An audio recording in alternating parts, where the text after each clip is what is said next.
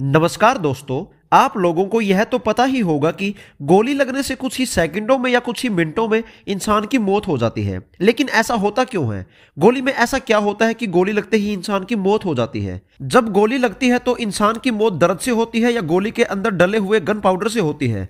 तो चलिए पूरे विस्तार से समझाते हैं कि गोली लगने से इंसान की मौत क्यों और कैसे होती है। लेकिन इससे पहले आपको यह समझना होगा कि गोली या बुलेट काम कैसे करती है।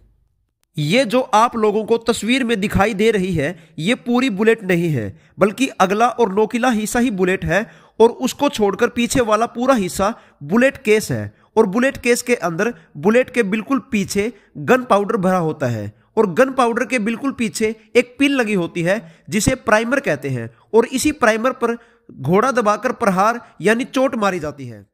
जब घोड़ा दबने की वजह से पिन पर चोट लगती है तो यह पिन बुलेट केस में भरे हुए विस्फोट पदार्थ, यानी गन पाउडर में एक चिंगारी पैदा कर देती है, जिसकी वजह से एक ज़बरदस्त विस्फोट होता है, और इसी विस्फोट की वजह से एक ज़ोर का धक्का बुलेट पर लगता है, और जिसकी वजह से यह बुलेट बहुत तेज गति से निशाने पर लगती है।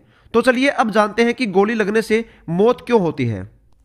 देखिए, आपकी जानकारी के लिए बता देते हैं कि एक बुलेट में कोई जहर नहीं होता। जिस गन पाउडर की लोग बात करते हैं, वो तो सिर्फ़ जलकर या विस्फोटक बनकर बुलेट को आगे की तरफ़ धक्का देने के लिए होता है। तो ये बात तो आप लोगों को क्लियर हो चुकी है कि गोली में कोई जहर नहीं होता तो इंसान की मौत किस वजह से होती है? जब गोली चलती है तो उसमें से बहुत तेज गति से धातु की एक बुलेट निकलती है, जो इतनी तेज गति से आगे की ओर बढ़ती है कि कई बार तो लोहे को भी चीर देती है। इंसान के शरीर में तो फिर भी मांसपेशियाँ और खून ही भरा होता है।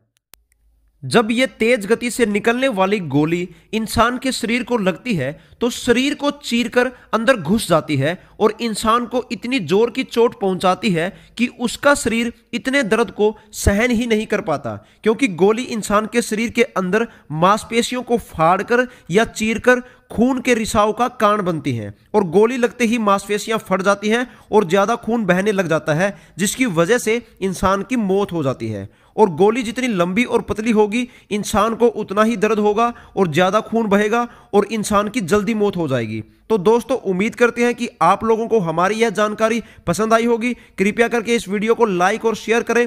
प्यार को ऐसे ही बनाए रखें। धन्यवाद।